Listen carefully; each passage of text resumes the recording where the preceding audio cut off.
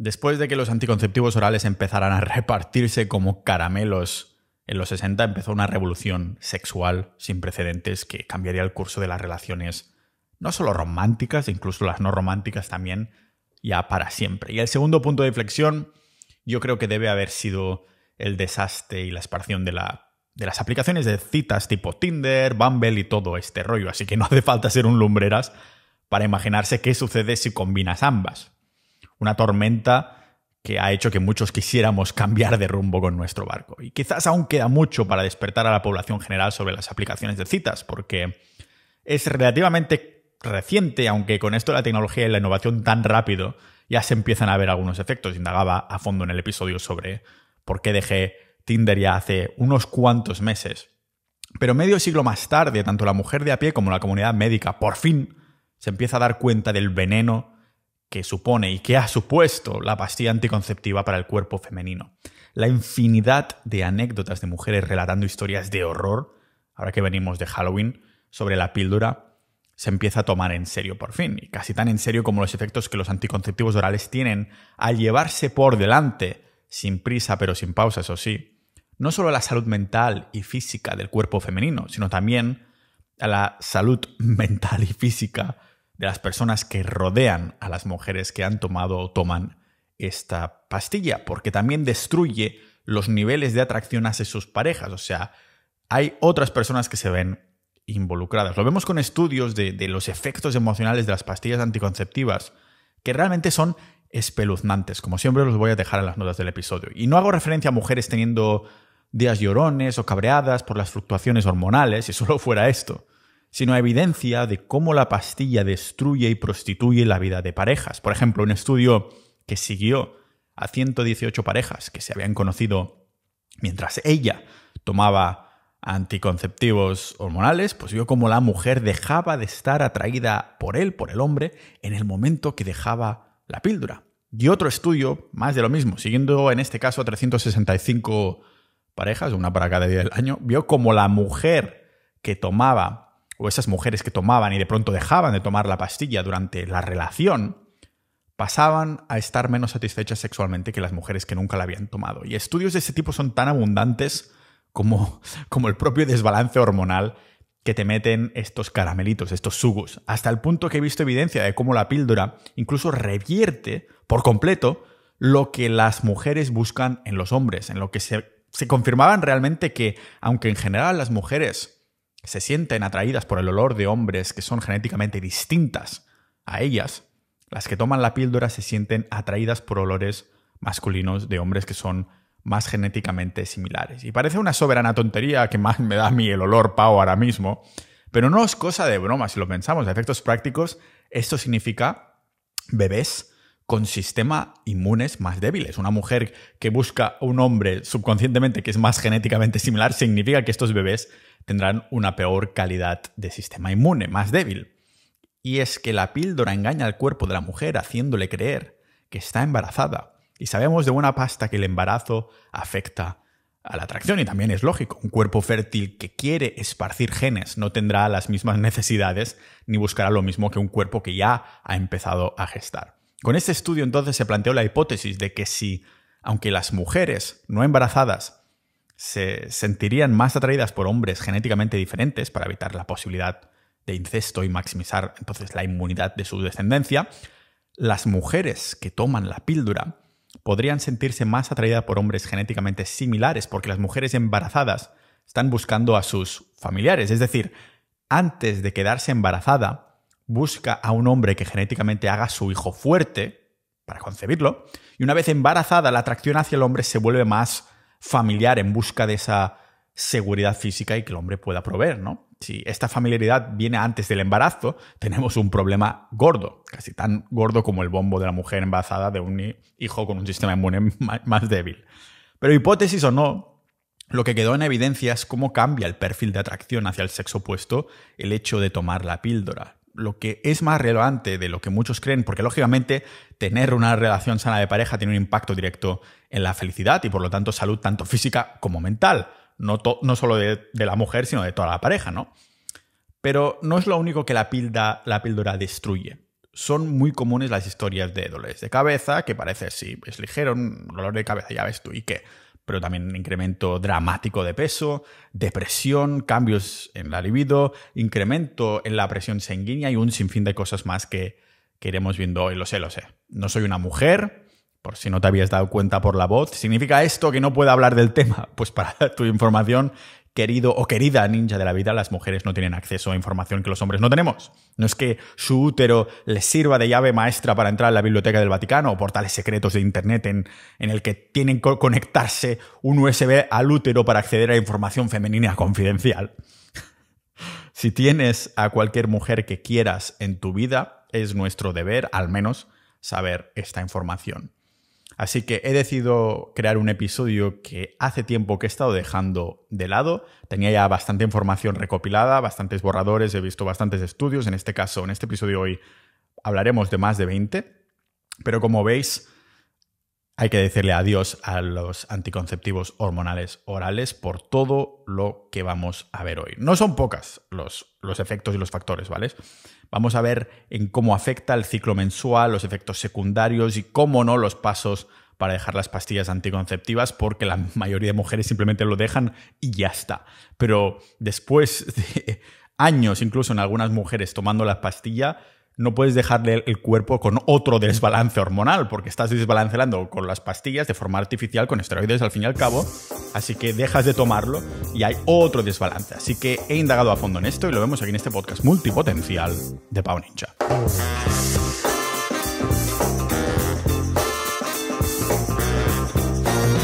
A veces pienso que muchos de los episodios que hago se podrían pasar por las, las escuelas de secundaria o primaria o algo así en este caso, cuando se hablen de los anticonceptivos, se tendría que pasar algo así del rollo. Niñas, no toméis hormonas, no toméis anticonceptivos orales como la pastilla, porque mira todo lo que sucede. Y es que tenemos que empezar por el principio, ninjas de la vida. Para entender las anticonceptivas tendremos que entender las hormonas y para entender cómo afectan las hormonas sintéticas al cuerpo de la mujer, primero hay que entender cuál es el ciclo hormonal natural de una mujer adulta.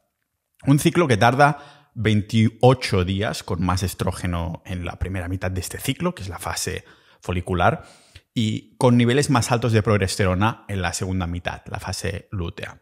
En el día 1 hay, pues, la menstruación viene porque tanto el estrógeno como la progesterona, estas hormonas, bajan y que provocan que el revestimiento del útero se desprenda, haciendo que haya lo que conocemos como regla, ¿no? La, sangre de una a cinco días o siete días en algunos casos. Pero no es de extrañar que conociendo la potencia y lo relevantes que son las hormonas en nuestra salud mental y física, las mujeres también sientan el desencadenamiento no, no solo del útero, sino de más cosas. Por ejemplo, el cerebro libera FSH, que es la hormona folículo estimulante, que estimula el crecimiento de los folículos en los ovarios, para preparar un óvulo para la ovulación. Entonces, de aquí saltamos al día 8, que el estrógeno empieza a elevarse, haciendo que las partes femeninas sean más, ¿cómo lo llamaría? Contundentes, que se llenen, ¿no? que se vuelvan más pronunciadas. Me recuerda un libro que leí de Jane Goodall que hablaba de, de los gorilas y cuando hablaba del apareamiento es que a las hembras se le volvía eso más rosita, ¿no? Pues en el día 8 aproximadamente líneas generales, lógicamente hay cuerpos independientes que no, no, siguen exactamente este círculo. Es cuando, como digo, se vuelve más contundente, llenas, pronunciadas que, con los labios, que no los de la boca, más llenos, más curvaturas, cosas así, ¿no? Después del día 9 y 10 les aumenta la testosterona, haciendo que tengan más libido y por lo tanto tengan más, más ganas de hacerlo.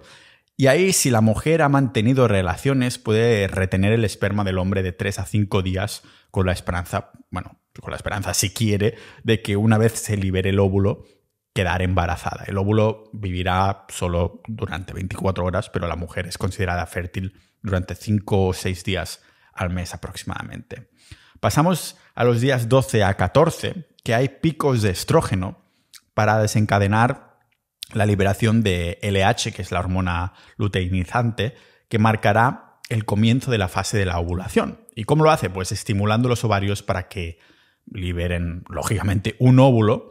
Por esto se llama ovulación. Y durante estos días el óvulo viaja por las trompas de falopio, como si estuviera ahí en una atracción. Y se acomoda después, después de tanta atracción, pues se acomoda con una manta y café en el útero si es fertilizado por los espermatozoides. De lo contrario, pues pierde la paciencia, se disuelve y sale del cuerpo junto con el revestimiento del útero durante la menstruación. Y finalmente, días de 15 a 28 aproximadamente, que es la progesterona que toma el rol protagonista convirtiéndose en la hormona reina del cuerpo.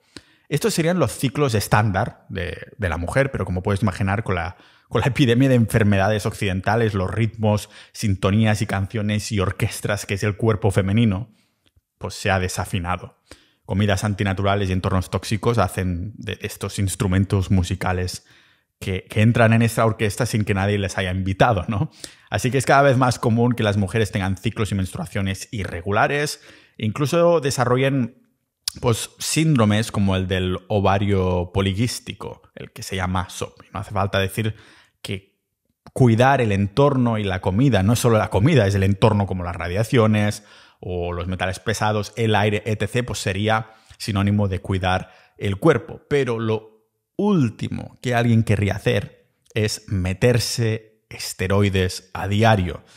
Esto es la pastilla. Las mujeres que se dan cuenta dejarán la pastilla de inmediato o si están a tiempo nunca la tomarán al fin y al cabo.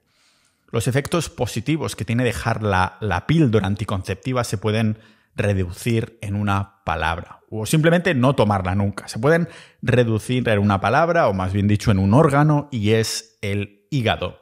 El hígado es el más comprometido y el que lo jode todo. Se jode las hormonas, se jode el hígado, se jode todo. El problema principal que da la píldora afectando al hígado es a través del mecanismo que se llama colestasis, ¿vale? Colestasis, que es la reducción del flujo de bilis del hígado. Quizás algunos habréis incluso escuchado sobre la colestasis durante el embarazo, que es cuando en las últimas semanas, cuando la mujer está embarazada, el exceso de hormonas pone un montón de estrés en el hígado. Y con esto vemos lo sensible que es el cuerpo, incluso en ligeras fluctuaciones hormonales naturales sin necesidad de tomar nada. Pero aquí entramos nosotros a enchufar píldoras para forzar aún más los cuerpos. Y es que las anticonceptivas inducen a esta colestasis por todo el cóctel antinatural de hormonas al que estamos sometiendo al hígado. El cuerpo de la mujer lo viviría como mucho la última, los últimos dos pares de semana del embarazo, pero una mujer que está tomando la pilla constantemente, pues lo está sufriendo de forma constante. No es cosa de broma porque si no hay flujo de bilis significa que el hígado no está desintoxicándose de forma natural. Una receta para el daño hepático que por cierto ocurre de forma muy rápida cuando se descuida un hígado. Porque eh, los chinos lo saben bien.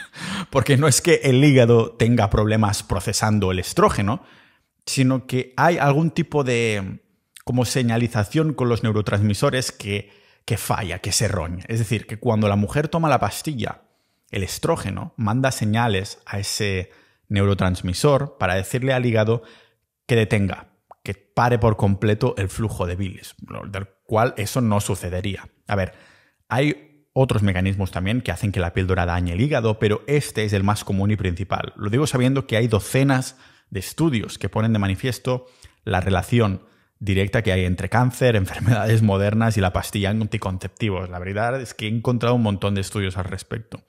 Se ven varios casos en los estudios donde la paciente o las pacientes van al médico le recetan las anticonceptivas como si fueran sugus y vuelven semanas más tarde con los ojos amarillos, que como sabemos, unos ojos amarillos indican complicaciones hepáticas del hígado. Y en algunos casos las pacientes simplemente vuelven directamente con cáncer. Lo único que han hecho ha sido darle la pastilla anticonceptiva.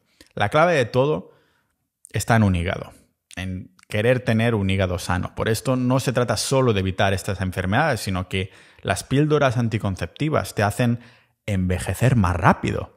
¿Sabéis por qué? Pues porque lo que más impacta una apariencia vieja, cada vez menos joven, es el daño hepático, un hígado que no está sano.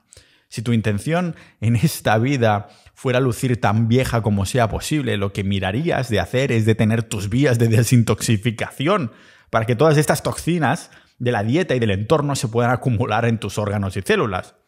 Nótese el sarcasmo. Nadie quiere lucir viejo a propósito. A lo mejor si tienes 16 y quieres entrar a una disco de los 18 años, ¿vale? Nadie quiere lucir más viejo a propósito. Como mucho será lo contrario. Personalmente especulo que este sería uno de los motivos por el que muchas mujeres ahora están envejeciendo más rápido que nunca, con apariencias que lucen menos jóvenes que la edad que tenían. Y es que, como digo, se dan estas pastillas como si fueran caramelos. Una mala señalización del hígado no solo detiene los problemas aquí, porque el hígado es la clave del metabolismo, de la, de la desintoxicación. He puesto una F por ahí, ¿no? Es desintoxicación. Que siempre me estoy liando con esta palabreta.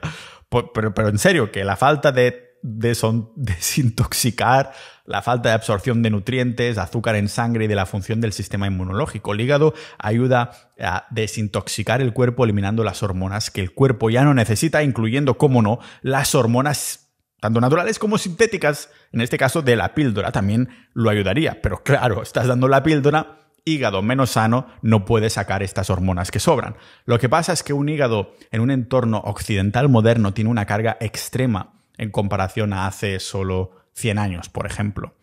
Desde los cosméticos a la comida moderna, los efectos de las ondas electromagnéticas, el alcohol o la medicina, las drogas, ¿no? Normal entonces que si el hígado está a cargo del metabolismo junto con todos esos procesos, que entonces montones de mujeres vean fluctuaciones importantes en su peso corporal, que es normal ver a mujeres que toman la píldora y en poco tiempo han ganado un montón de peso, por ejemplo, porque el hígado está afectado y si afecta el hígado está afectando a su metabolismo. La mejor manera de hacer que el hígado no tenga que llevar la batuta hasta esos extremos es que la mujer no tome la píldora o que la deje.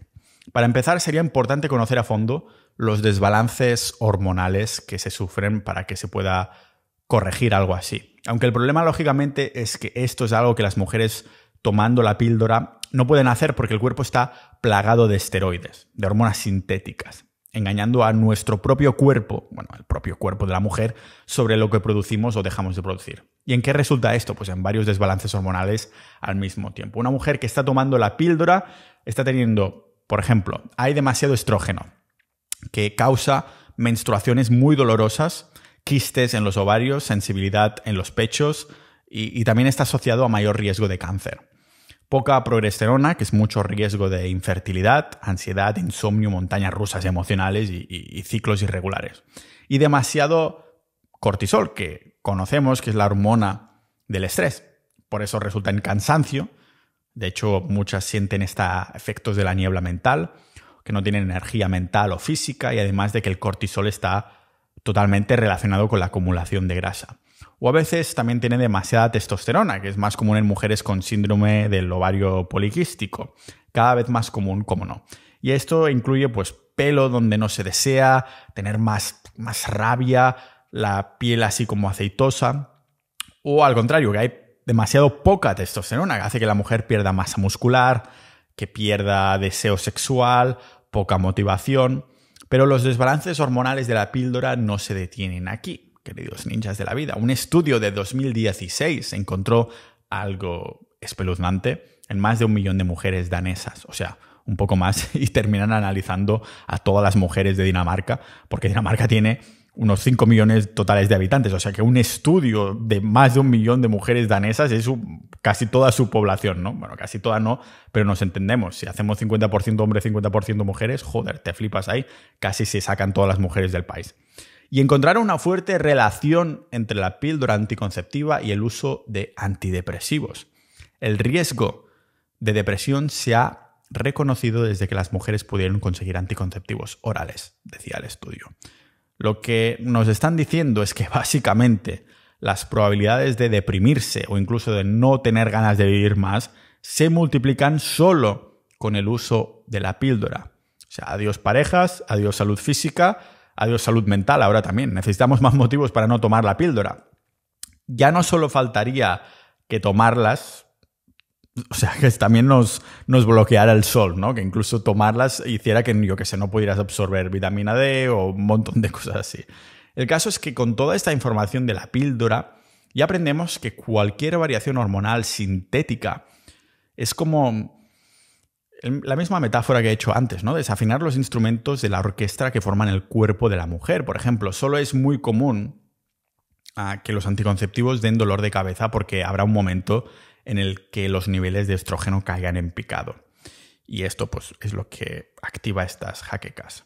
Ninja de la vida, si te apasiona la salud ancestral, desenmascarar dogmas nutricionales, construir un cuerpo fuerte y resiliente al paso del tiempo, entonces seguro que también te habrás sentido un bicho raro, un incomprendido. Para mí es difícil intentar explicar sin sentirme juzgado por qué mi dieta se basa en carne roja sin verduras, por qué tomo el sol sin crema, por qué no tengo gafas de sol o por qué no utilizo Bluetooth. Hay días que es frustrante escuchar los juicios de personas a las que en el fondo no les interesa la salud hasta que la pierden, pero son los mismos días donde veo que la cola de la farmacia es más larga que la de la carnicería. Y recuerdo por qué tengo este podcast. Si estás aprendiendo algo de este episodio igual que yo haciéndolo, imagínate todo lo que puedes aprender de salud, cuerpo, entorno y de hábitos en nuestra comunidad privada, sociedad.ninja. Uniéndote estarás ayudándome a divulgar apoyando económicamente a este proyecto que es 100% libre de patrocinadores, sin publicidad, totalmente independiente y sin terceras partes que puedan manchar la genuinidad de la información. Pero no solo esto, sino que uniéndote formarás parte de una tribu de más de mil ninjas de la salud y de la vida como tú, que intentan mantener intacto el instinto de tener una mente curiosa, para no olvidar que los hechos y el sentido común no entienden de títulos o agendas. En Sociedad Ninja compartimos datos, debates, experiencias de nutrición, fitness, salud y noticias que no verás en los medios tradicionales, pero sobre todo compartimos valores.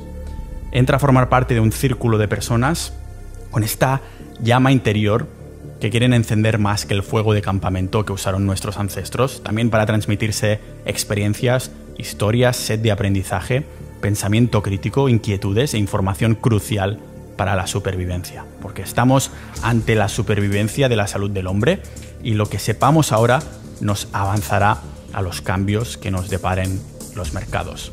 No creo que haya sido alguna vez algún encuentro o un retiro de fin de semana donde las comidas sean exclusivamente de carne de pasto. Pues así lucen los retiros y quedadas de Sociedad Ninja que organizamos por toda España y alrededor del mundo. Avánzate a los cambios que vienen y adelántate a la enfermedad aprendiendo sobre salud ancestral, pero también sobre las otras temáticas del podcast, dinero, mente, mundo, con montones de chats tan vivos como sus miembros, episodios exclusivos multitemáticos, audiocursos y boletines. Hemos creado algo tan increíble que no queremos que muera de éxito y por esto cerramos acceso a nuevas incorporaciones cuando lleguemos a los 1200 miembros. Únete ya a Sociedad Ninja y conviértete en un ninja de la vida.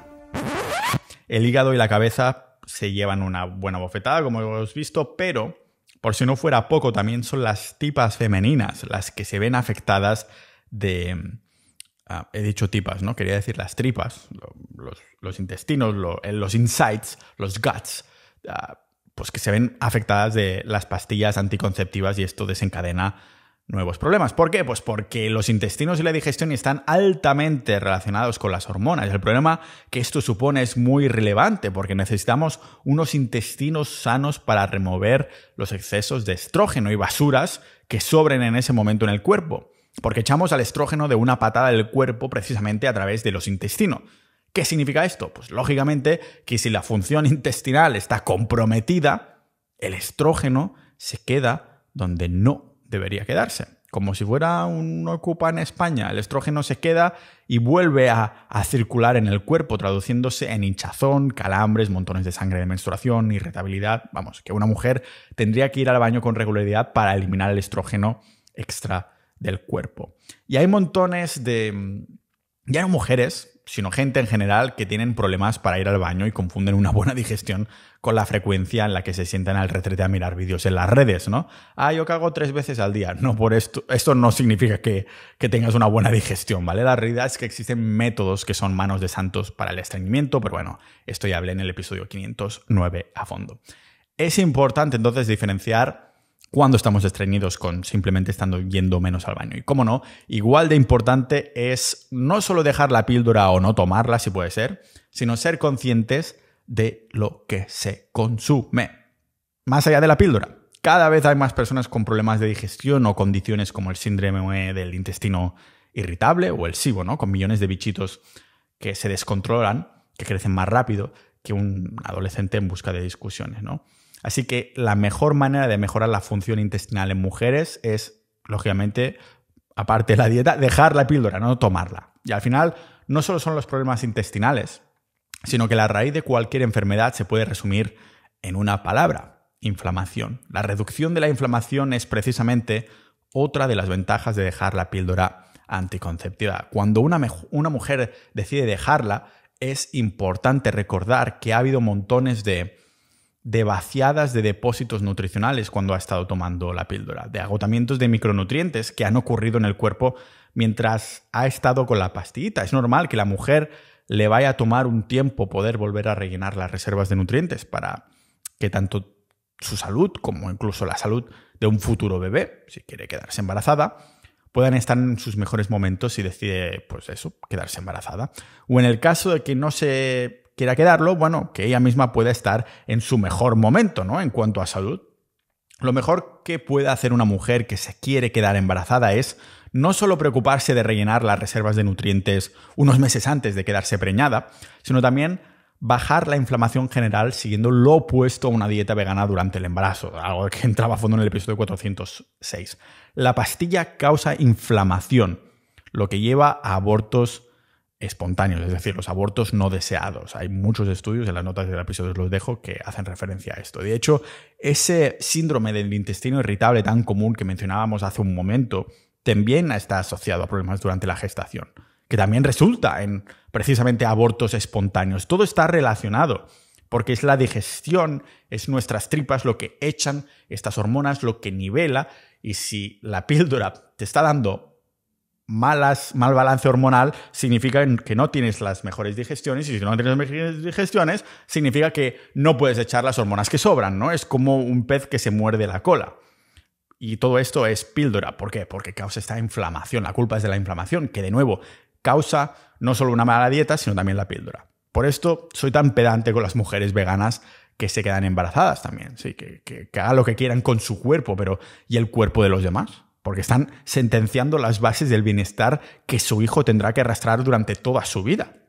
Al pequeño le, le deben informarse sobre lo que hacen, ¿no? O sea, las consecuencias del veganismo para la salud son bien sabidas, algo que indagaba a fondo en el episodio 249 que, aquellas que deciden seguir una dieta basada en su alimentación en plantas, especialmente durante su embarazo, están sentenciando la salud de su hijo. Y es relevante en el tema de la píldora, porque estamos hablando de que uno de los temas de la píldora es que la depleción, el vaciado de estos nutrientes. Imagínate si deja la píldora solo un, par de meses antes de quererse quedar embarazada y encima decide seguir una dieta vegana, por ejemplo no solo los, los, primeros años de vida del bebé, sino durante toda su vida adulta, ¿no? Le puede influenciar dándole unas malas bases, unos malos cimientos de producción de energía y hormonas. Hacer crecer un ser humano en tu propio cuerpo no es muy diferente a un milagro. El cuerpo de la mujer necesitará abundancia de nutrientes, energía, hormonas bien balanceadas y, y lo olvidado, un sistema digestivo que funcione a la perfección para procesarlo todo. Una madre sana y feliz creará un bebé sano y feliz. Las futuras madres lo intentan hacer lo mejor que pueden durante el embarazo, pero algo obviado es que las mujeres tienen que centrar su energía, salud y bienestar en ellas mismas antes de intentar concebir. Primer punto es no basar una dieta en plantas porque no hay colesterol, que la gran mentira del colesterol es que sin colesterol no hay ni salud y mucho menos embarazo. Indagaba esto en el episodio 270. Y en Internet los testimonios de veganas que terminan perdiendo la menstruación llenan la red. En las notas del episodio os hago una recopilación de veganas diciendo he perdido la regla. O sea, la propia naturaleza les está diciendo que están tan poco sanas que mejor te sacan el carnet de la maternidad, que mejor que no tengas hijos. Esta falta de colesterol y grasas y de otras vitaminas esenciales como las liposolubles que solo están en las grasas, en la carne, se traduce en inflamación. La inflamación causa que las células se vuelvan más rígidas que la hora que mis padres me hacían volver a casa en una noche de fiesta durante mi adolescencia, ¿no? Que estas células se vuelvan como yo de adolescente con las chicas, que no entiendan las señales. Que estas células no entienden las señales de la insulina para transportar el azúcar fuera. ¿Y qué sucede? Que este azúcar se queda en el limbo. flotando en la corriente sanguínea, como un gordo en un flotador durante una tarde de agosto en la piscina, ¿no? Entonces el páncreas empieza a crear más insulina, que pelo yo tengo en el pecho. Y todo esto traduciéndose a una inflamación que nos llevará a resistencia a la insulina y a niveles de azúcar en sangre elevados. Por esto, son las mujeres con síndrome del ovario poliquístico las que tienen todas las papeletas de un alto riesgo de diabetes tipo 2, porque cuando las hormonas no funcionan, nada funciona. Y no hay peor manera de asegurar un desbalance hormonal que añadir hormonas sintéticas para modificar artificialmente estos ratios, siendo esta insulina una de las principales causas del SOP, del síndrome del ovario poliquístico. El páncreas necesita inyectar más y más y más insulina en respuesta a niveles de azúcares altos en sangre, algo que se multiplica y se exagera en la mayoría de mujeres porque la mayoría de mujeres sigue una dieta alta en cereales, de grano, ¿no? porque no conocen la verdad sobre los carbohidratos y indagábamos en esto a fondo en el episodio 181. Y esto lleva a niveles altos de insulina, lo que le manda a los ovarios a crear más testosterona. Vamos, que el máximo contribuyente a la resistencia a la insulina es una dieta moderna. Y la píldora, la que sigue el 90% de la gente, de las mujeres. Y, la gente en general también en el tema de la dieta alta en carbohidratos. Después las mujeres van al médico y no solo le recetan las pastillas anticonceptivas, sino que además les enchufan medicamentos como metformina para controlar los niveles de insulina de forma artificial. En cambio, vemos testimonios de las mujeres de la comunidad que, se benefician, ¿no? En Sociedad Ninja que comentaban cómo se beneficiaban de seguir una dieta más, más carnívora, sin necesidad de tomar nada o mejorando incluso su síndrome del ovario poliquístico. Es el caso por ejemplo, de Lucía, que entrevisté en el podcast, que de adolescente tuvo problemas severos con esto, y todos sus experimentos la llevaron a comer más carne, más grasa y cada vez menos plantas y menos carbohidratos y a dejar la pastilla, que la tomó durante tiempo, y la mejora fue sustancial al hacerlo, al dejarla. Pero si una mujer se encuentra con este maravilloso episodio, vale, tendrá muy claro que tiene que dejar la pastilla, pero el hacerlo será como volver a enseñar a todos tus músculos de, tu cuerpo cómo se tocan los instrumentos y las canciones, ¿no? Hacer, hacerle su cuerpo a reaprender. Cuando las mujeres dejan la pastilla, de nuevo, son hormonas sintéticas, hay un incremento de andrógenos, especialmente testosterona, que puede llevar a lo que se conoce como rebote de andrógenos con síntomas que son acné, caída del pelo, amenorrea, que es cuando no hay menstruación, disminución del deseo sexual, que duela al tener relaciones, trastornos del estado de ánimo, incluso que los ovarios dejen de funcionar, que no ocurre muy a menudo, pero puede ocurrir. Lo que más asusta a las mujeres que salen de la pastilla después de, casi toda su vida adulta en ella es que no se reconocen como persona, empiezan a tener muchas preguntas sobre quiénes son después de dejar la píldora, porque se dan cuenta como un perfil antinatural de hormonas ha estado guiando sus pensamientos, opiniones y acciones. Las hormonas dictan cómo de felices estamos, cómo de cabreados estamos, cómo es, son todo. Se preguntan cuál es mi deseo sexual natural ahora, ¿no? ¿Cómo son mis mensuraciones naturales ahora? ¿Cómo de relacionada estaba la pastilla con mi salud mental y mis mareos? ¿Tengo alguna afección subyacente que haya quedado enmascarada al tomar los anticonceptivos? ¿Cómo fluctúa mi peso de forma natural ahora? ¿Y mi presión sanguínea ha cambiado como está ahora?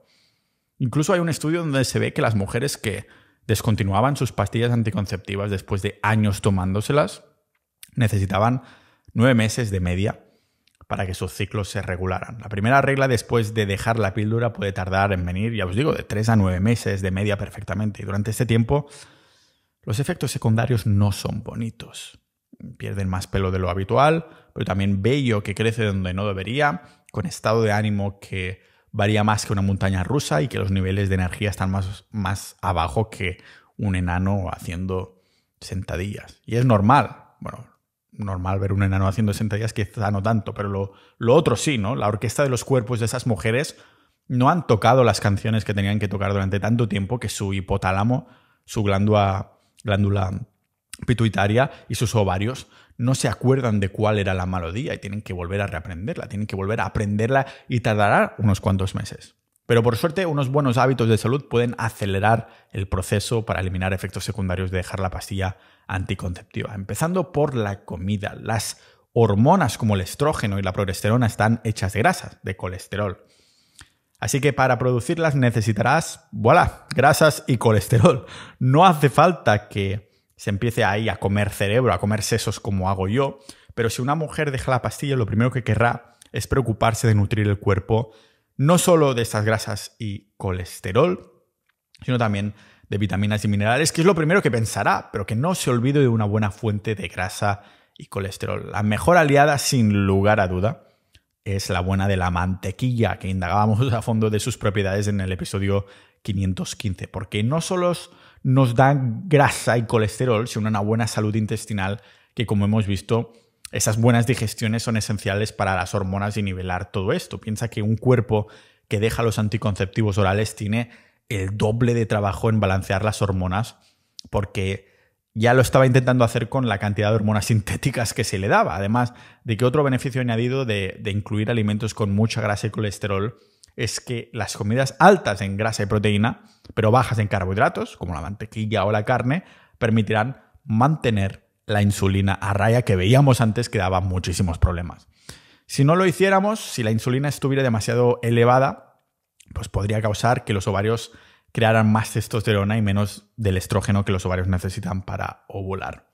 Al dejar la píldora es crucial tener a raya tanto el hígado como el sistema digestivo. Esto hemos visto que son las dos claves en, todo esto. Y aunque es verdad que personalmente no pienso que la fibra sea de los hábitos más saludables del sistema digestivo, indagaba a fondo en esto en el episodio 512, cuando una mujer deja los anticonceptivos orales, a su vez está saliendo de un contexto antinatural, los esteroides. Por lo tanto, tiene sentido que también tendremos que seguir una dieta hackeada, es decir, lo que siempre digo, soluciones modernas a problemas modernos. Es decir, si estás siguiendo una vida normal sin mucha influencia del entorno, una dieta sin fibra es lo mejor. Sin embargo, si estás saliendo de una, de una situación, un entorno donde estás metiendo esteroides, aquí la fibra sí va a ayudar porque estás tomando una acción para contrarrestar una acción moderna. Entonces necesitarás, no sé si me explico bien, ¿no?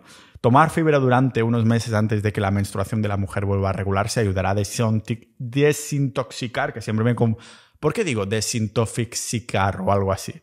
Desintoxicar el hígado, ¿vale? Al que tanta caña pues, se le ha dado con las píldoras. Con esto se hace que esas hormonas no vuelvan a circular de vuelta a la corriente sanguínea desde el intestino.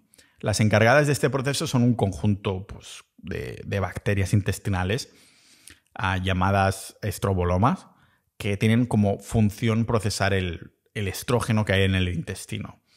Si hay montones de esas bacterias que fabrican estroboloma como niños durante la revolución industrial, este sobrecrecimiento entonces reconvertirá el estrógeno en una forma que, coño, ahora se va a reutilizar y el estrógeno vuelve al torrente sanguíneo. Algo que no queremos, claro. Por esto la salud intestinal es tan importante al dejar la píldora.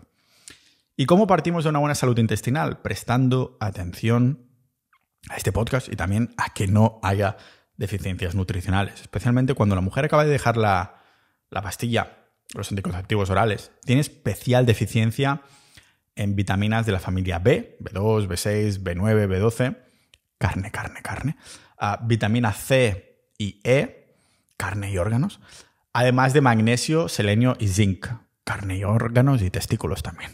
E, es la propia píldora que vacía las reservas del cuerpo de los micronutrientes esenciales, haciendo que estas deficiencias sean tan comunes que haya cogido incluso un nombre propio, estas deficiencias. Se llama el síndrome postcontrol de natalidad.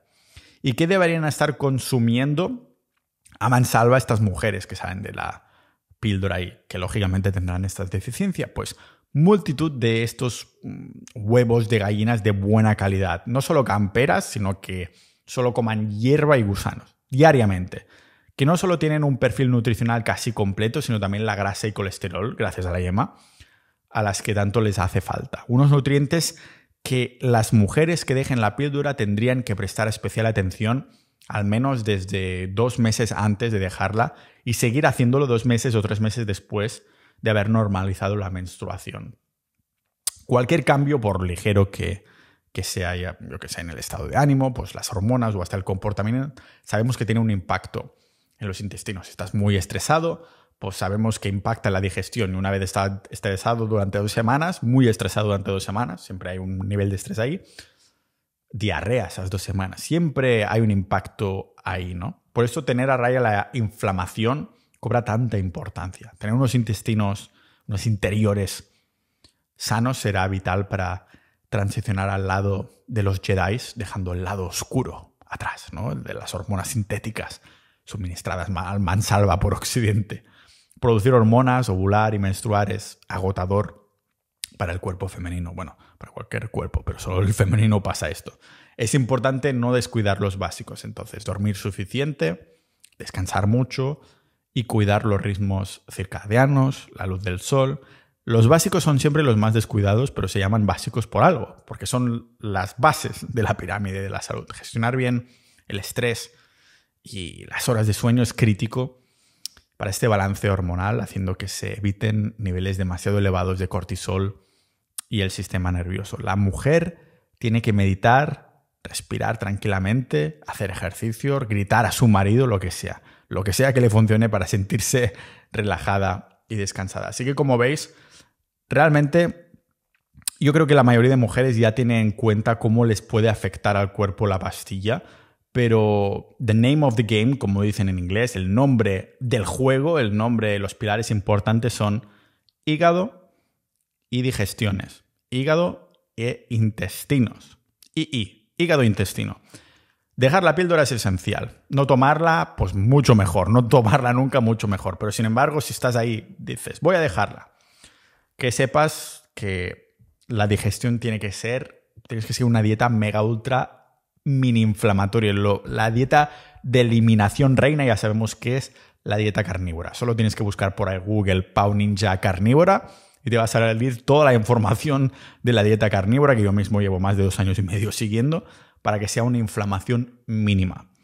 Esto ayudará intestinos bien sanitos y lógicamente sí que podría tener sentido durante un tiempo meter ahí fibra para desintoxicar. ¿Por qué meto la F? Joder desintoxicar el hígado durante este tiempo, ahora que salimos de un entorno artificial. Así que espero que os haya servido y como siempre nos veremos en los próximos episodios de este podcast multipotencial de Pau Ninja.